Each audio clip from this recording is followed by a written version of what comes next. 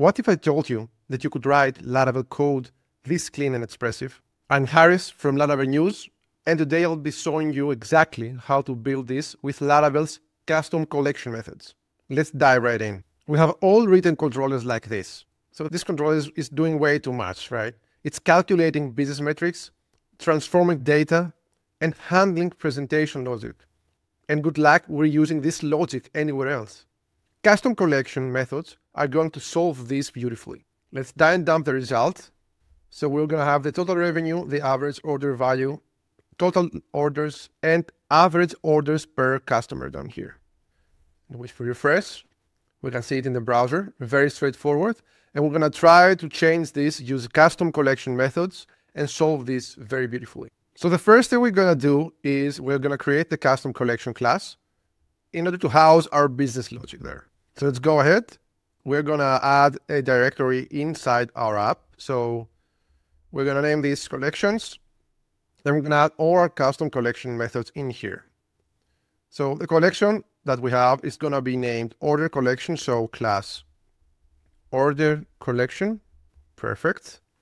And this one is going to extend the Illuminate collection, of course. Let's import that, simplify. Nice.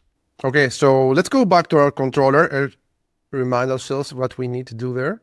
First thing we have is the total revenue. So the total revenue in this case is just sum of the orders based on the total. Let's go and move that out of the controller. So let's go to order collections and let's create the public function total revenue. And this is going to be a float. And again, we're going to return this sum of the totals. Perfect. Next thing here is the average order value. Same thing again, but with the average instead of the sum, right? So average order value. Again, this is going to be a float. So return this average total. What we have next, the next one is the total number of orders, which is just the count of the orders. Let's go back.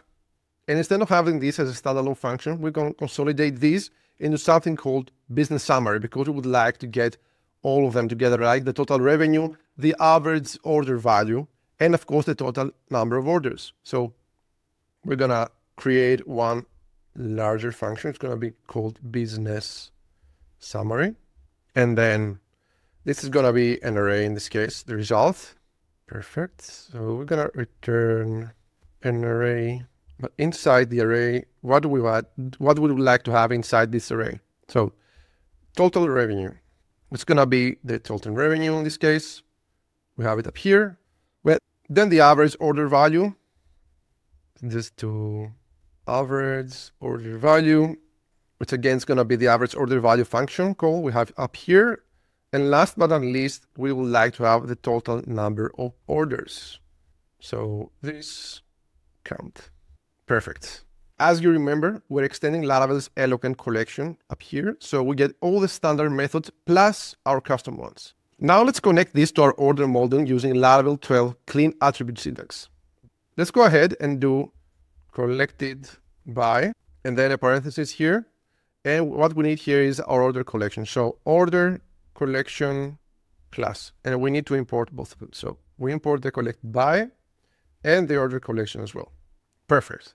So this attribute tells Laravel to automatically use our order collection whenever we query orders. So when I call the order all up here, for example, you'll see that I get back our custom collection with all our methods available. So let's call orders, which is orders all. Let's go to the browser, refresh, and you see we have an, uh, an, a collection of order collections instead of actual collections.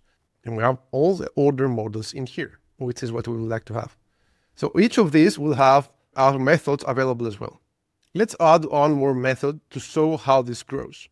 So going back to our controller here, you're going to see we have one more thing we would like to, to have you know available. So we have customer orders counts, which is basically we group by all the orders based on the user ID, and then we map those orders and we get the count out of, of those orders. And last but not least, we get this result and we get the average. So we actually get the average orders per customer in this case. So we would like to add this in our collection as well. Let's go back to our order collection down here. And let's create a new function called average orders by customer. So let's go average orders by customer. And that in this case is going to be a float as well. So float, perfect. Let's return now. And what this is going to return is going to be exactly the same like before, but here we can add more functionality. So we add some safeguards here. First one is if this is empty, what we would like to do in this case is make sure that we return average as zero. So average will be zero in this case. Perfect. So next thing we add down here is exactly the thing we had before. So if we go back to the controller, we see first one is that we group by user ID and we map to get out the count. And last but not least, we get the average. So we, I'm going to copy that here inside my method and I'm going to change this here. So instead of orders, we obviously need to mention this. So this group by based on the uh, group on the user ID, then we map those orders and we get the counts out of them. So same thing, everything else doesn't change, and we just return the result in this case. So now we have our average orders by customer function as well. And this basically answers you know, how many orders does the average customer place. And it builds on our existing foundation. And you can chain these methods together as well if you would like to. Now let's go back to our controller and mention those methods instead of the, this mess we had.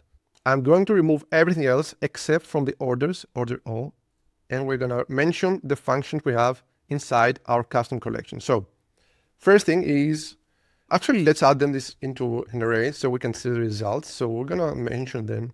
Um, we're going to name them stats in this case. So stats is going to be, it's going to be an array, right? So first one is the summary. So we're going to have here uh, the orders business summary, like we had it in our custom collection. So business summary. As you can see, we also get autocomplete, which is pretty cool from the outer IDE. Next thing is the average orders per customer. So average orders per customer. And this is going to call the average orders by customer. Let's then dump this out and see the results so far. Go back to the browser, refresh. And as you can see, we have the exact same results like before when we first started. And we have them with clean code in this time. So we get the summary, and inside the summary, total revenue, average order value, total orders, and the average orders per customer, exactly the same values. Look how clean this is now, right? Much cleaner than before. So each method has single responsibility, but they work together in this case. Now, uh, last but not least, what we can do is we can return the view. We're gonna have the dashboard here, and then the array of our value. So and we're going to close that because you already saw that, right? And then in this case, we're going to copy these here, going to add them here. Perfect. Let's remove the stats. We don't need it for now. And let's see this beautified result, right? Our controller went from complex calculation machine to simple and elegant coordinator. And all that business logic is now reusable everywhere. Every APIs we have, any commands, or anywhere you need it. So custom collections method transform messy controllers into clean and expressive code that reads like plain English in this case. They make testing trivial and promote reusability throughout your application. So in the next episode, we're going to take a look at advanced query scopes, which is the perfect companion to custom collections. Hit that like button and subscribe for more if this cleaned up your code and see you in the next one.